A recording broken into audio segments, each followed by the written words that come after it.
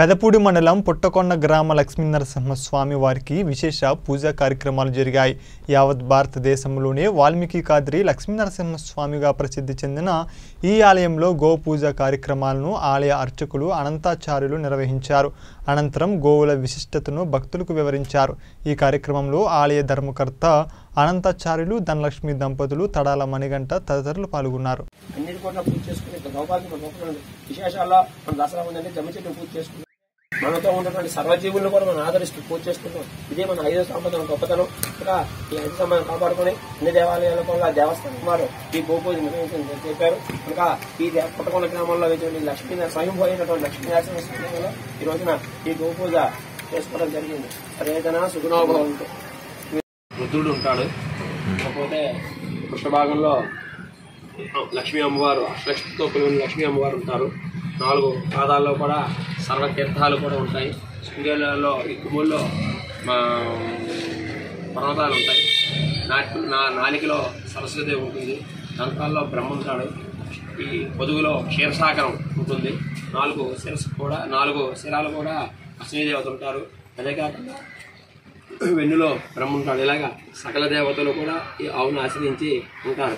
మనకి పద్నాలుగు లోకాల్లో తిరిగే జంతువు ఏదో ఒకటి అంటే ఒక ఆవు మాత్రమే పద్నాలుగు లోకాలు కూడా స్వేచ్ఛగా తిరగలదు తప్ప మరి ఇంకే జీవికి కూడా అటువంటి అవకాశం లేదు. మానవుడు ఇన్ని రకాల పూజలు చేసి మనకు కూడా అటువంటి అవకాశం లేదు. గోగు మాత్రమే ఆ పవిత్ర స్థానం లభించింది. కనుక మనం విశేష కార్యక్రమాల్లో మనం పుట్టినరోజుల్లో విశేషాల్లో కానీ అయితే చావు సమయాల్లో గోదానం ఇప్పిస్తుంటారు. గోదానం ఎందుకు ఇప్పిస్తారంటే ఆ తోక పట్టు నీళ్ళు పట్టుకున్న తోక పట్టు వేలాడితే అది తిరిగిన పద్నాలుగు లోకాలు కూడా ఆ జీవుడు దాంతోపాటు వెళ్ళిపోయి ఉన్నత ఉత్తమ- ఉత్తమ లోకాలకు వెళ్తుందని మన పెద్దల తాలూకా విశ్వాసం. కనుక గోదానం ఆ రోజున ఏర్పాటు చేసిస్తారు ఇస్తారు. అదేవిధంగా గోదానం చేసుకున్నట్లయితే సకల పాపాలు కూడా తొలగిపోయి సకల దేవతల అనుగ్రహం కూడా మనకు దొరుకుతుంది మన ముక్కోట ఏకాదశి ప్రమాదం ఎనడదో అలాంటిది ఇది. అయితే మన హిం- హిందూ సంప్రదాయంలో అన్నిటికీ కూడా పండగలు చేసుకున్నట్టే మనం మన పాత వస్తువులు అన్నీ కూడా ఇంట్లో ఉన్నటువంటి వస్తువులన్నీ క్లీన్ చేసుకుని భోగి మంట వేసుకుంటాం.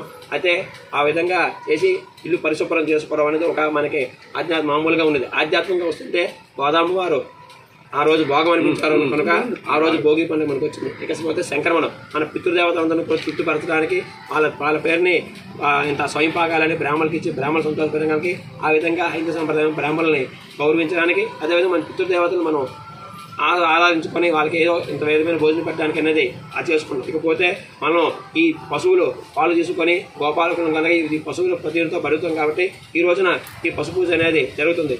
ఆ ఎద్దులు ఆ మీదని ఆ పూజ పూసుకొని దున్నితే కానీ పంట లేదు ఇవి పాలిస్తే కానీ ఇండి లేదు. కనుక ఈ విధంగా పశువులను గౌరవించుకుంటూ పశువులు పూజ చేసుకుంటాం. ఇంకా ఈ రోజున ఈ పశువులు అంటే మన హైదరాబాద్ నాగుల చవితిలో నాగు మాము పూజ చేస్తాం. అలాగా? మన సాంప్రదాయంలో అన్ని జీవులను కూడా ఆరాధించుకుంటూ అన్నిటి కూడా పూజ చేసుకునే సౌభాగ్యం మన లోపల ఉంది. విశేషాల్లో మన దసరా ఉందంటే జమ్మ చెట్టు పూజ చేసుకుంటుంటే మనతో ఉన్నటువంటి సర్వజీవులను కూడా మనం ఆదరిస్తూ పూజ చేసుకుంటాం. ఇది మన ఐదో సంప్రదాయం గొప్పతనం.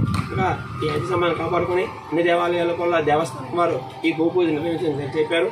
ఇంకా ఈ దే పుట్టకొండ గ్రామంలో వచ్చిన ఈ లక్ష్మీ స్వయంభూ అయినటువంటి లక్ష్మీనరసింహ స్వామి ఈ రోజున ఈ గోపూజ చేసుకోవడం జరిగింది. సరేజన సుఖనోభవంతో